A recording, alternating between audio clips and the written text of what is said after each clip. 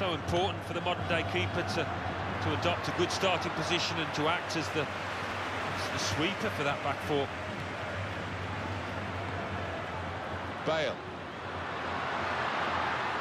In with a chance, and they've scored the equaliser.